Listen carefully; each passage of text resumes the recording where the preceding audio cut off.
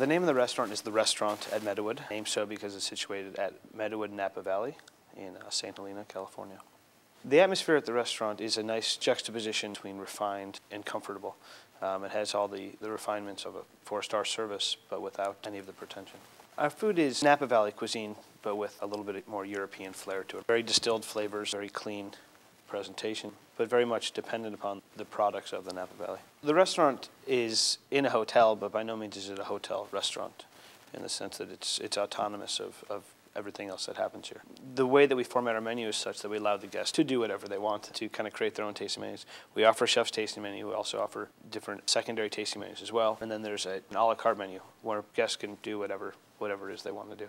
We do very refined food, but I, I also like big flavors. I like smoke and I like acid and I, I like, I, I want things to jump out at you. Every dish for me should have some, some hook, some angle, something that makes it unique. Whatever we can do to make the guests happy, we're going to do. We don't limit the tasting menu to the entire table. We don't put any restrictions whatsoever on what the guests can do. And that's a challenge for a chef, but you know that there's more people leaving happy